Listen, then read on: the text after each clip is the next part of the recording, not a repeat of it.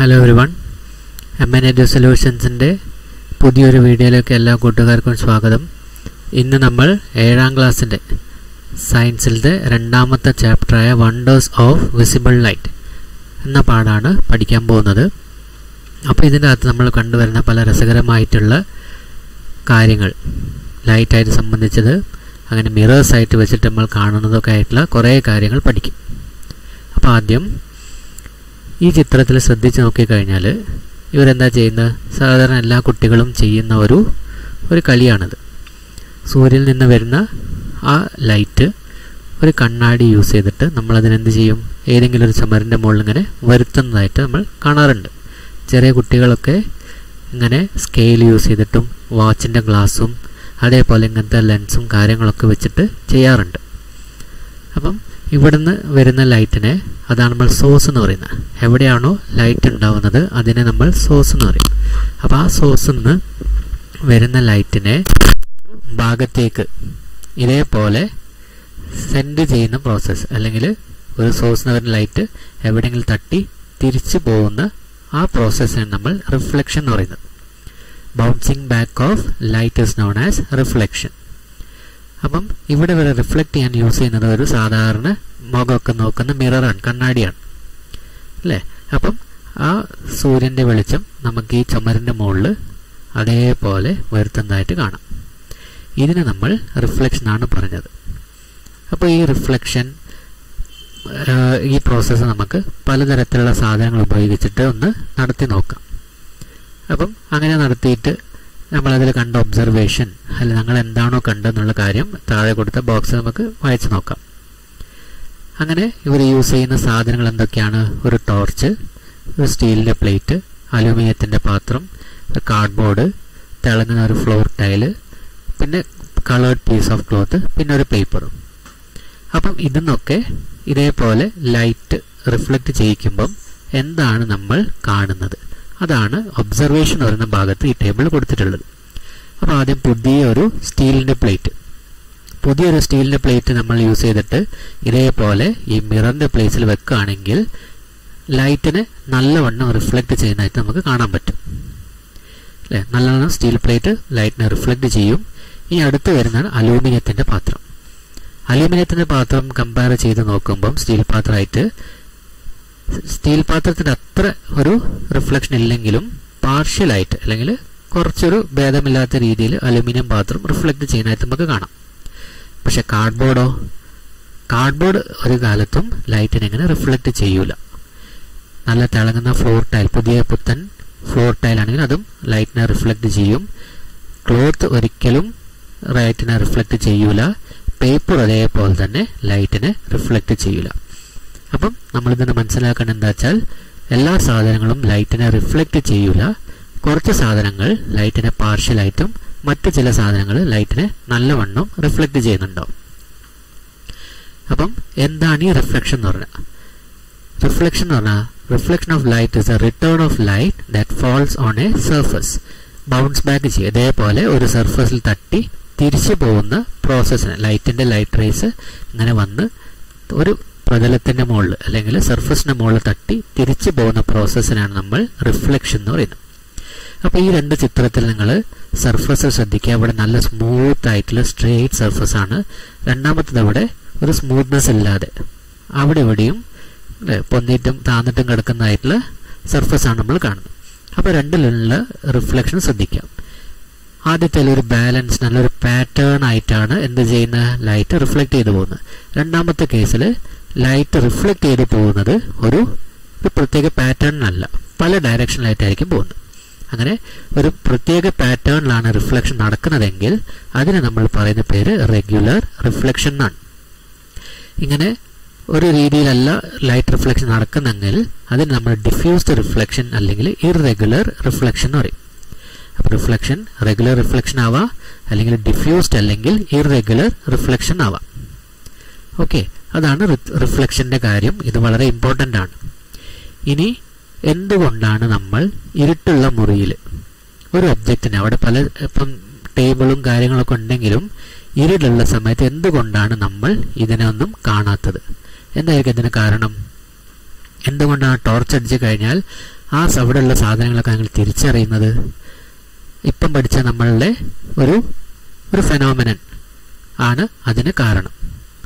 അതിന് കാരണം എന്താ വെച്ചാൽ റിഫ്ലക്ഷൻ നടക്കണമെങ്കിൽ എന്ത് ഇമ്പോർട്ടന്റ് ആണ് നമ്മളിവിടെ വരച്ച് കാണിച്ച ലൈറ്റ് റേസ് വളരെ ഇമ്പോർട്ടന്റ് ആണ്.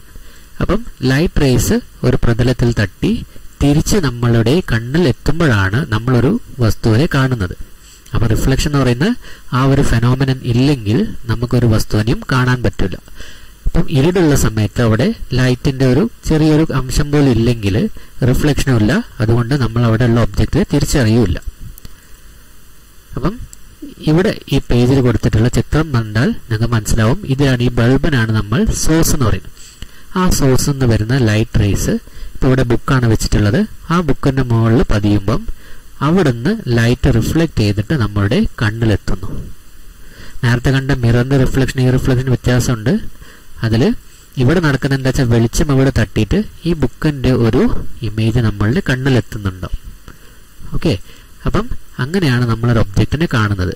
അപ്പം എന്തൊരു ഒബ്ജക്റ്റ് നമുക്ക് കാണണമെങ്കിലും ഒരു സോഴ്സ് വരുന്ന ലൈറ്റ് അത്യാവശ്യമാണ് അങ്ങനെ സോഴ്സിന് വരുന്ന ലൈറ്റ് ഇവിടെ തട്ടി നമ്മളുടെ കണ്ണിലേക്ക് ആ ലൈറ്റ് വേവ്സ് എത്തുമ്പോഴാണ് നമ്മളൊരു ഒബ്ജക്റ്റിനെ കാണുന്നത്.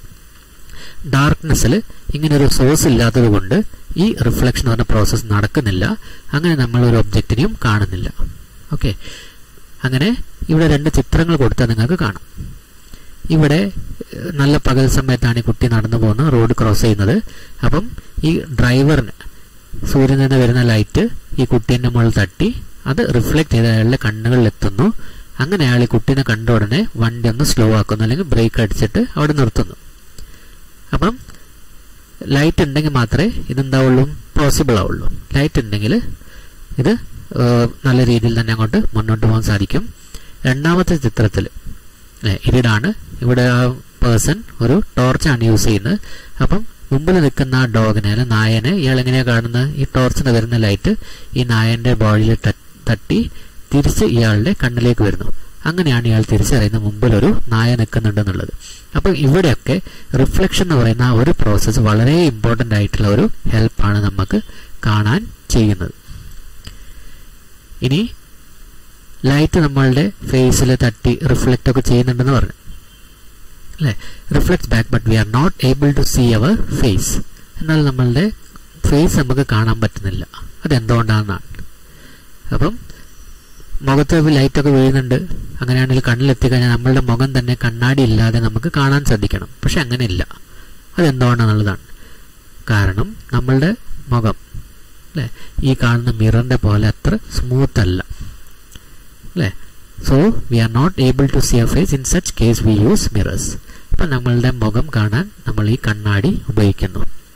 ഈ കണ്ണാടി എന്ന് പറഞ്ഞ സാധനം മുമ്പിൽ നമ്മൾ കാണുന്ന ആ രൂപം അല്ലേ? അതിന്റെ പുറകു വശത്ത് എന്താണ് ആരും ശ്രദ്ധിച്ചത്? എന്താണ് അവിടെ ഉള്ളതെന്ന് ആർക്കറിയോ? അല്ലേ? ഇതൊരു ട്രാൻസ്പെറന്റ് ഗ്ലാസ് ഷീറ്റ് ആണ്. അതിന്റെ പുറകു വശം സിൽവർ ലൈനിങ് ഉണ്ടോ? ഒരു റെഡ് കളറുള്ള സിൽവർ ലൈനിങ്ങിന്റെ കോട്ടിംഗ് ആയിരിക്കും ഈ മിററിന്റെ പുറകുണ്ടിലുണ്ടാവുക അങ്ങനെ ഈ റിഫ്ലക്ഷൻ മിററിന്റെ അകത്ത് റിഫ്ലക്ഷൻ വളരെ ക്ലിയർ ആയിട്ടായിരിക്കും ഉണ്ടാവുന്നത്. സ്റ്റീലിലോ അല്ലെങ്കിൽ അലൂമിനിയത്തിന്റെ പ്ലേറ്റിലോ മിററിന്റെ പോലെയുള്ള റിഫ്ലക്ഷൻ നമുക്ക് കാണാൻ സാധിക്കില്ല. അതുകൊണ്ട് അവിടെ ഉണ്ടാവുന്ന ആ ഇമേജ് അത്ര ക്ലിയർ ആയിരിക്കില്ല ഓക്കെ. ഇനി വേറൊരു എക്സ്പെരിമെന്റ് നമുക്കിവിടെ ശ്രദ്ധിക്കാം. ഇവിടെ എന്താ ചെയ്യുന്നത് വെച്ചാൽ നിലത്തൊരു കണ്ണാടി ഇങ്ങനെ വെച്ചിട്ടുണ്ട്. ടോർച്ച് എടുത്തിട്ട് ഒരു പ്രത്യേക ആംഗിളിൽ ഇതേപോലെ ചെരിച്ച് വെച്ചിട്ട് ലൈറ്റിന്റെ റിഫ്ലക്ഷൻ നമ്മൾ അടുത്തുള്ള ഒരു വാളിന്റെ മുകളിൽ ചുമരിന്റെ മുകളിൽ ശ്രദ്ധിക്കുകയാണെങ്കിൽ ഈ റിഫ്ലക്ഷൻ നമുക്ക് വാളിന്റെ മുകളിൽ കാണാൻ സാധിക്കും.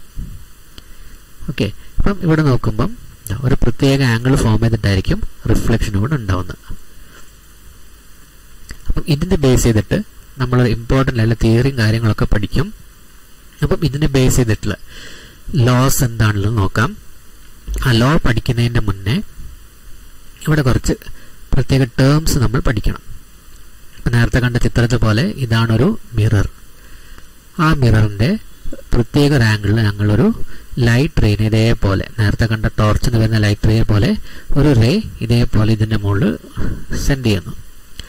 അപ്പം നമ്മളുടെ ആ ആംഗിൾ ഓഫ് അല്ലെങ്കിൽ ഈ ആറോ പോകുന്ന വഴി അത് കറക്റ്റായിട്ട് മനസ്സിലാക്കാൻ വേണ്ടി ഒരു നേരെയുള്ള സ്ട്രെയിറ്റ് ലൈൻ ഇവിടെ വരയ്ക്കുന്നുണ്ട്. ഒരു ഇമാജിനറി ലൈറ്റ് ഇവിടെ ഉള്ള ലൈൻ ഇവിടെ ഡ്രോ ചെയ്യുന്നുണ്ട്.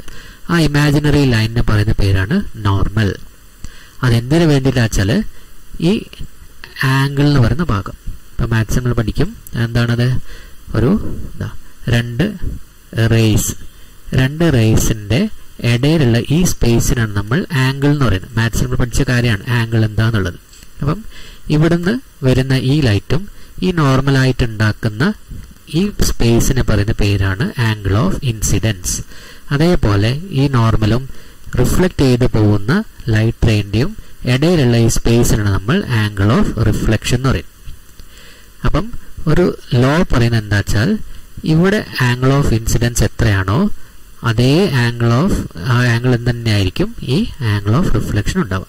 അപ്പം angle of incidence equal to angle of reflection. അതാണ് ലോ ഓഫ് റിഫ്ലക്ഷനിൽ ആദ്യത്തെ പോയിന്റ് വരും ഇതെപ്പോഴും ഈക്വൽ ആയിരിക്കും. ഇനി അത് ഈക്വൽ ആണ് നമ്മൾ എങ്ങനെ തെളിയിക്കുക എന്നുള്ളതാണ് അടുത്തൊരു ചോദ്യം. അതിനുള്ള എക്സ്പെരിമെന്റ് ആണ് താഴെ കൊടുത്തിട്ടുള്ളത്.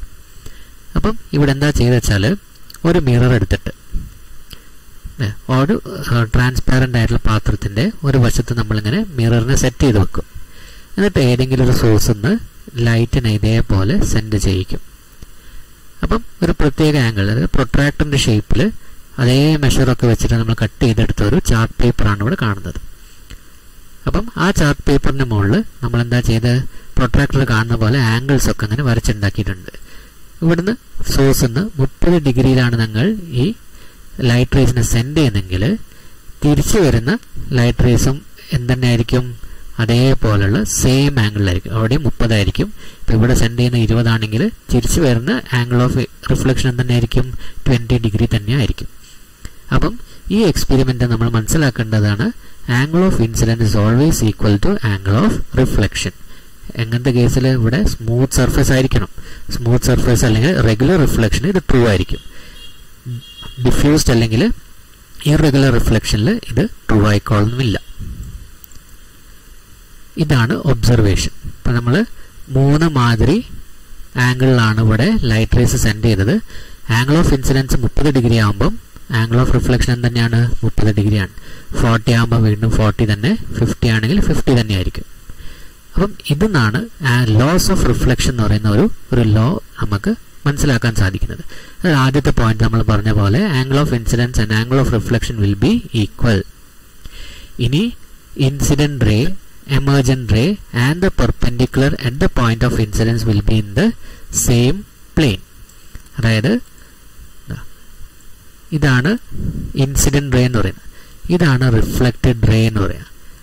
അതേപോലെ angle of incidence angle of reflection ഇത് ഒരേ പ്ലെയിൻ ഒരേ പ്ലെയിൻ എന്ന് പറഞ്ഞാൽ ഇപ്പം നമ്മൾ ഈ ഷീറ്റ് അവിടുന്ന് ഒരു ഭാഗത്തു നിന്ന് വന്ന് ഷീറ്റിന്റെ മറ്റേ ഭാഗത്തേക്കാണ് ഈ ലൈറ്റ് റേ റിഫ്ലക്ട് ചെയ്ത് പോകുന്നത്.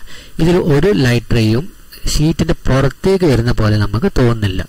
ലൈറ്റ് റേ ഇതും അതേപോലെ ഈ മിററൊക്കെ ഒരേ പ്ലെയിനിലാണ് ടു ഡയമെൻഷനിലാണ് ഉള്ളത് രണ്ട് ഡയമെൻഷൻസിനേ ഉള്ളൂ. ഒന്ന് ഒറിസോണ്ടൽ ആയിട്ടുള്ള ഡയമെൻഷൻ മറ്റത് വെർട്ടിക്കൽ ആയിട്ടുള്ള ഡയമെൻഷൻ അപ്പം ഈ ഇൻസിഡന്റ് റേ ആണെങ്കിലും റിഫ്ലക്റ്റഡ് റേ ആണെങ്കിലും എല്ലാം നോർമൽ ഒക്കെ കിടക്കുന്നത് ആ പേജിന്റെ മുകളിലാണ്. ഒന്നും പേജിൽ നിന്ന് പുറത്തേക്ക് വരുന്ന പോലെ നമുക്ക് തോന്നുന്ന ഒരു സബ്സ്റ്റൻസും ഇതിനകത്ത് ഇല്ല അതാണ് സെക്കൻഡ് പോയിന്റ് വരുന്നത്. Incident ray emergent ray reflected ray എന്ന് പറയുന്ന വേറൊരു പേരാണ് എമർജന്റ് റേ അതേപോലെ പെർപെൻഡിക്കുലർ അതാണ് നോർമൽ എന്ന് പറയുന്നത്. അതെപ്പോഴും ഒരേ പ്ലെയിനിലായിരിക്കും അപ്പം ഇത്രയും കാര്യങ്ങൾ എല്ലാവർക്കും മനസ്സിലായെന്ന് ഞാൻ വിശ്വസിക്കുന്നു. ഇതിനടുത്ത ഭാഗം നമുക്ക് അടുത്ത വീഡിയോയിൽ പഠിക്കാം. താങ്ക്